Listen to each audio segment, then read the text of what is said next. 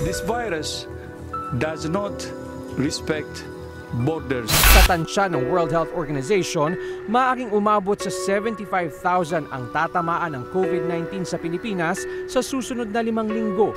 We have this problem right now, yung outbreak ng coronavirus disease. Every country in the in the world is threatened with a with this uh, COVID-19. At, at this point in time, uh, our scientists are looking for for treatment.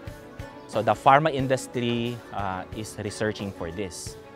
However, there is a very good uh, natural product that we could take, the, the virgin coconut oil.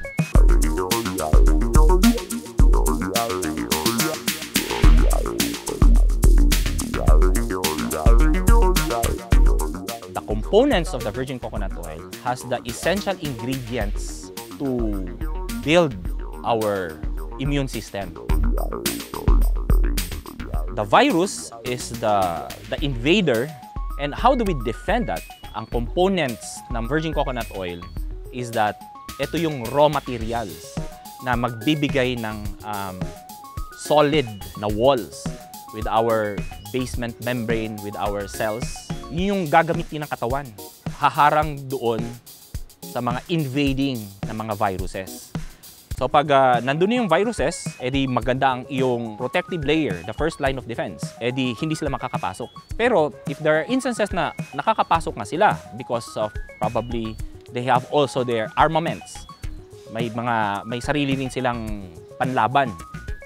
Then other layers of our body such as our immune system, yung mga white blood cells and uh, the whole immunologic reaction, the, the neutrophils, the lymphocytes, ito yung mga uri ng mga sundalo ng ating katawan. These are the best soldiers in our body. But tulad din ng mga pulis, tulad din ng mga sundalo, ay kailangan din nila ng supply na para hindi sila magutom, hindi sila basa-basa lang na mapagod. So, ang pinaka-supply o pinaka-raw material nila ngayon dyan ay ang main ingredients ng virgin coconut oil. Nako-combat nila agad itong coronavirus disease na nag-e-invade sa ating katawan.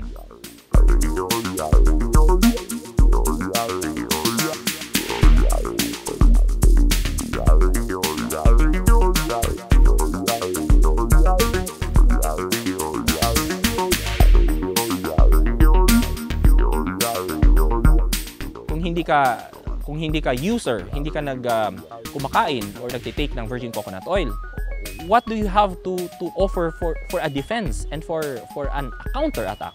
Wala. So kung meron man and then those are the the natural supply that the body has. Pero kung kung paano kung naubos na ang itong armamentaryo mo, saan ka na kukuha?